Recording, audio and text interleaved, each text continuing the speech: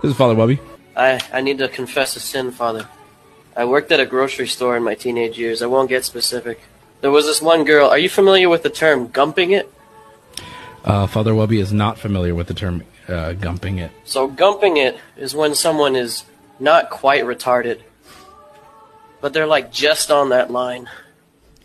So, while it's an ethical conundrum, it's not fucking a retarded person if you were to sleep with them. This will come important later in the story. She worked in the bakery. And to cut to the chase, because I've already taken a minute of your time, Father, You're good. I fucked her ass in the freezer.